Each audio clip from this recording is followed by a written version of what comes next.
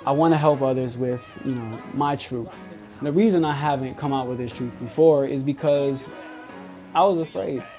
If I'm being 100% honest with y'all, with myself, I was scared. My truth is I did seven and a half years in prison, and that's what most people don't know. That was from age 15 to 20, 22. I got out right after my 22nd birthday. And I have always been joyful, even when I was there.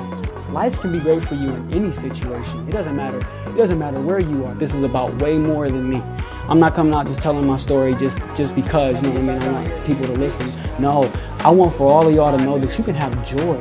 You can have joy in your heart, in your mind, peace. No matter what your situation is. I was in prison for seven and a half years, yo. I smiled every day. Every day. This smile right here, this was on my face bringing joy to people like my entire life. And that did not stop when I went away. It, it didn't stop when I came home. Nothing ever broke about me and my spirit. Nothing. And the only thing that has changed that is the fact that I want to influence more people in this energy because this energy is beautiful. And I've come to recognize that more so than anything else. And, and, and, you know, what that means for me particularly is the fact that I have a gift in helping people. And I know that, I always have. I want to own up to that gift. I want to honor my talent. You know you're supposed to be doing something. You're supposed to be doing that all in 100% every time. No exceptions.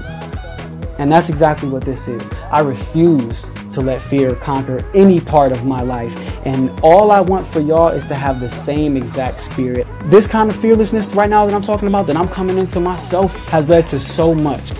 That little bit of time that I spent afraid of the fact that someone might judge me, insignificant time that is dramatic in my life. For all of y'all that are on my YouTube, y'all know I get hate. I don't I don't care anything about that. Like I kind of appreciate it, honestly. It's like, please give me more and more energy. You know, I'm to keep redistributing it. This is to be all about love.